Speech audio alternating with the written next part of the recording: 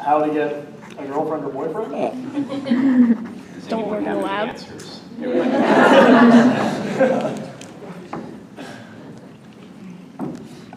Nothing? Oh, So how do you feel about the difference between like um, pasteurized and unpasteurized foods, like compared to like Eu- Europe and America? Eat pasteurized things and drink pasteurized milk because you don't want to die. yeah. Um, like pasteurization is a really important process because uh, microbes can do a lot of crazy things. They can, they can do a lot of things that can throw off your balance inside of you, and they can do a lot of things that directly harm you. And so while it might taste better because you know you have these microbes in it, it won't taste better the second time. Uh, yeah, I mean, the risk is low from, from a lot of these types of things, like the unpasteurized milk that people get, raw milk and all of this, but there's, the health benefits are non-existent or exaggerated, I think, so. Uh, like, what else do you want? It, it depends on how fast you can drink the milk. Yeah. On a similar note, you guys talked about GMOs yesterday, Oh. and there's all this big wave of like, you know, no GMO this and like blah blah blah that. And I'm re- I'm very suspicious of like these trends. What if I told you you could have sustainably grown organic GMOs? So, so before we, before we did all the modification to plants that we do today, we used to just bombard them with radiation and make a ton of mutations until it gave us what we wanted. So we didn't call it GMOs then, and everyone wasn't worried back in like the 50s. So I think we're all right. That might be some bias on my part, but um, Yeah, the, uh, the other really cool thing about GMOs is that um, when you're designing a GMO, you have to actually look for other genes that might cause problems with the inserted gene. Like we don't just like, oh, I want this apple to taste like an orange now. Uh, you know, two orange genes and that'll be fine. Like we actually like screen the like the genome and make sure there's nothing that could interfere hypothetically. Um, and so when I go to the store and I see GMOs, I think two things. One, they're cheaper, and I'm poor. And the second thing is this is probably going to be more nutritious than a non-GMO product. Well, it has been studied scientifically, so I mean, well, there may be like fractional differences in the nutrients between GMOs and non-GMOs, there's no health reason to avoid GMOs. They've been proven to be safe. Eh, Of course, it's always going to be on a GMO by GMO basis. Like they're not all. It depends. What is the change? What is the modification? And so it's always going to be different.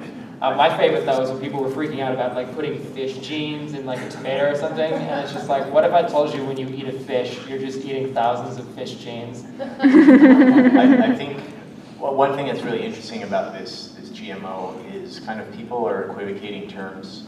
So people are confusing certain things.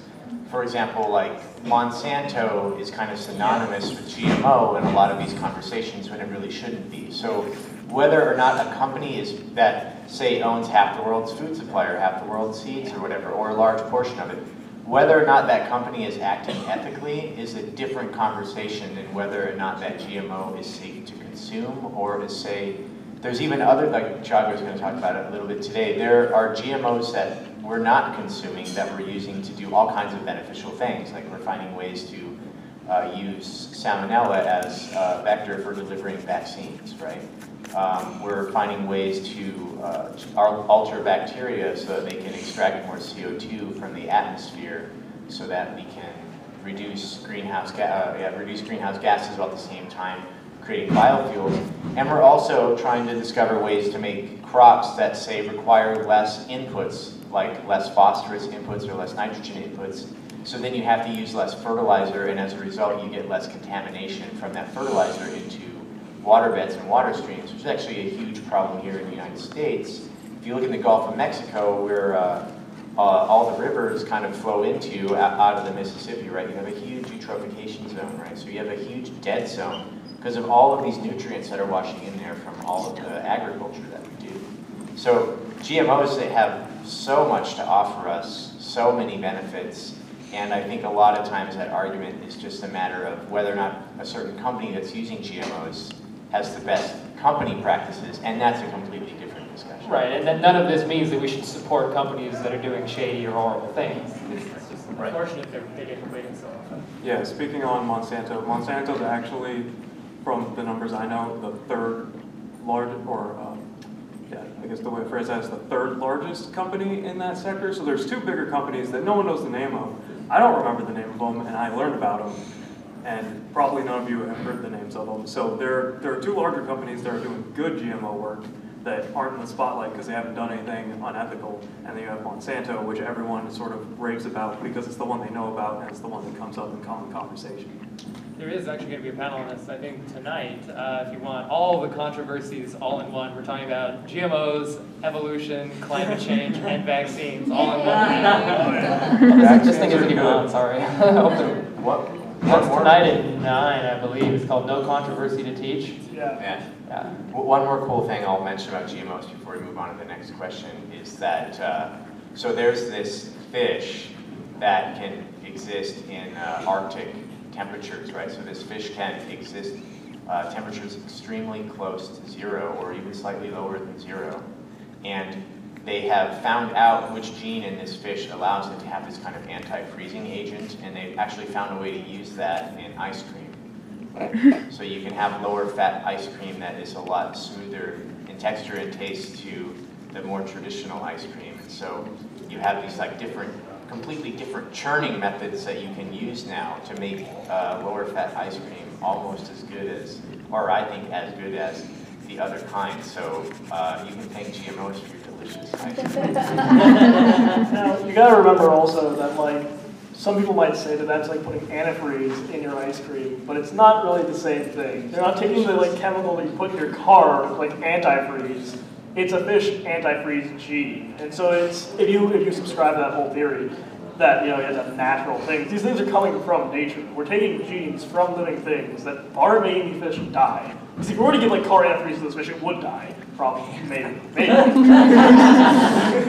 And, and of course, if you're eating fish, you're eating these same things anyway. Yeah. It's just in fish. on the antifreeze note, we actually drink antifreeze. If you know the like Mio squirt things you put in water to flavor it, the sweetener that is a chemical that's in antifreeze. So if you drink too much of that, you can get stomach bleeding, and that's why antifreeze tastes sweet. So we do it anyway. 'Cause Maybe we're not the smartest. I do not support Yeah. taking antifreeze. Yeah. I do not support anything that you just said. I don't support it either. So uh, the Mio like water flavor, I think it's called Mio. It's in a little triangular thing. Don't drink that. Yeah, don't drink that. What's the sweetener? Yeah. Yeah, yeah. What about propylene glycol is also used in for some antifreezes? Well, That's not. It, it might have changed. I know uh, my, my auto tech teacher, because I was an auto tech for a short time, his wife went to the doctor with stomach bleeding and they traced it back to that. They probably have changed it by now, hopefully, but that was the way it was four years ago. Yeah, the moral of the story is just don't drink an entire bottle of like Mio. It's, it's not a good thing to do anyways. You'll probably feel really sad afterwards. Uh, I think it's, uh, yeah, like, it's Yeah, maybe. One, uh, yeah, we have four more like minutes. starting. They're still coming in. Anyone else want to throw something out? Yeah. This is a really simple question. Are you doing a panel tomorrow or Saturday? Which panel are you talking Just about? with you guys, because I went to one yesterday. Oh, yeah. I think we're all doing various panels, right? So I'm, I'm doing the No Controversy to Teach one tonight, and then also uh, Victorian Medicine tomorrow, and a couple of you guys are on that, but there I might sneak on that one. We'll, we'll see if there's any space on it. Yeah, I'm on the Victorian and Hair Medicine one as well. Um, I'm on a panel tomorrow at four o'clock called Weird Science, the science behind the headlines. It deals with like weird science experiments, like putting ants on stilts and seeing what happens. Uh, so that's, that's that. I'm on a tea drinking panel, well, tea and coffee panel, where I think I know what I'm talking about, but we'll see. And then I'm also on the Science of H.P. Lovecraft panel, which I'm going to talk about some genetic stuff on that, and that's Sunday at 3. For those who have Cthulhu uh, in their, in their green farms. No one should fall asleep during the coffee panel, right? I I don't know. How, how I could hope, I that? hope not. I drank plenty of coffee this morning, so I'm wired. Um, we should Yeah, so we'll use like an extra two minutes at the end for like questions. okay, shoot, go. Yeah. All right, welcome to You Got a Friend in You. How many of you were also at the micro panel last time? Who got a lot? Yeah, repeat customers. Welcome back. We might touch on a few of the things we touched on now, but hopefully we can expand it to a lot of really cool areas also. Can you guys hear me in the back? Okay, is everything good? All right, so I'm going to be giving you guys a very brief intro to microbes in general, and then these guys are going to take it. What's your name? Hi, my name's Andy. Hi. I'm a European rock star. Wait, what? Sorry. Um, okay, so microbes are, in fact, sorry, I'm just, I'm just gonna like right next to them. so microbes are literally everywhere. They cover pretty much every surface, even surfaces that you may not even think about as anything possibly living. So we have them deep underground, in hydrothermal vents in the ocean, in these acid pools and hot springs, even buried inside of frozen glaciers. We even have them in places where we would just, just never imagined anything could possibly live even just a few years ago. So for example, this guy, Cryptococcus neoformans, actually a fungus, and it was found living off of nuclear waste in Chernobyl. Why not? They pretty much take gamma radiation and do like what plants do with photosynthesis. They're like, yeah, just give me that nuclear waste. I'll eat that, no problem. So I have a question for all of you. If you were to roll into a giant ball all of the animals on the planet and just make a giant animal ball, and then you were to roll all of the bacteria into a big bacteria ball, and you were to compare the sizes of them, raise your hand if you think the animal ball would be bigger. Can we try it? oh yeah, oh yeah, so delicious. Right, well this is the micro panel, so the answer is obvious, but it turns out, in fact, the micro ball would be about a thousand times bigger. So even though we can't see them, they are truly everywhere. And that includes inside of your body. So we have about 10 trillion cells that make us us. And there's up to 10 times this many microbial cells inside of us. Now they're a lot smaller, right? You know, we, we don't look, like microbes. I mean, I don't know. But uh, maybe look like a microbe. But um, so it takes up about two to seven pounds of our weight is microbes, is fill, filling us. All right. Um, so interestingly, so these microbes, every single multicellular organism that has ever been discovered is pretty much covered with microbes. And they don't just like we think of microbes so often as being bad. You know, we have to wash our hands to get rid of the germs. Well, most of these things are living symbiotically. They're harmless or they're actually beneficial. Um, the ones that actually cause disease are a minority. And we don't, we don't always necessarily think of it that way. It's really only, like, for the vast majority of history, medicine has been about getting rid of germs. And it's only in recent years that we've started to realize that a lot of these things are necessary for us to be healthy.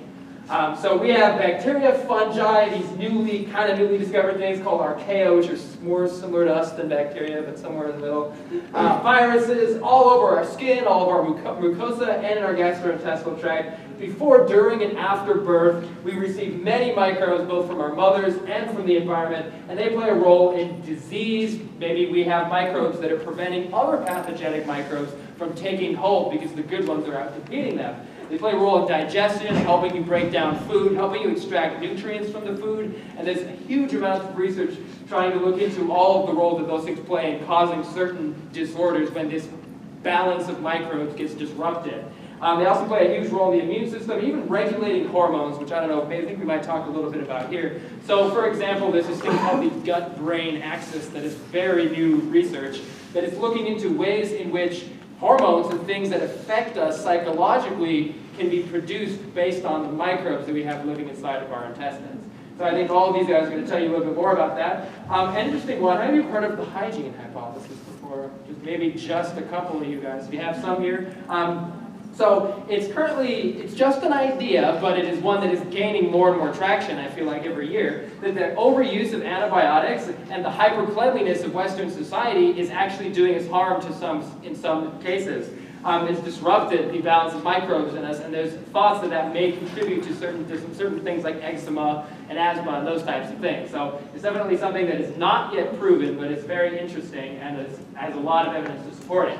So, uh, and there, there are many other really, really cool things that microbes do that we maybe don't think about. So every one of our cells contains this enclosed structure that, you know, we eat food and our cells make energy from that food. And this is this thing that does it, although you've probably heard of it before, it's called a mitochondria. It's kind of just this little thing hanging out in our cells. When people started to study it, they realized some interesting coincidences. So the mitochondria actually has its own DNA. And that DNA doesn't resemble our DNA. It resembles bacterial DNA. And not only that, but the mitochondria divides like a bacterial cell. So when our cells replicate, we have our own DNA and it gets replicated, but the mitochondria replicates separately. Um, and furthermore, we can't actually create new mitochondria. Our cells don't make new mitochondria. They just pass from one generation to the next. almost as if they're a separate organism within ourselves. Um, and so when scientists started to think about this, it was very, very interesting and strange and not what we would have originally expected. Um, and that's not the only example of this. So long before plants ever existed, the world only had cyanobacteria to do photosynthesis, so to take the energy from the sunlight and make energy out of it. Um, so cyanobacteria are green, shown here. They're green for the same reason that plants are green. Um, and it turns out that they have an enclosed structure also called a chloroplast that helps them do photosynthesis. Well, you guessed it, they look just like cyanobacteria. So it is now thought that both mitochondria and the chloroplast are actually ancestral bacteria that have lived symbiotically with our cells for as long as animals have ever been animals. Um, and so not only are we a collection of these 10 trillion human cells, not only are we covered from head to toe in microbes, but even inside of our very cells themselves, every single one of them is an ancestral microbe that lives on today. All right. Thank you.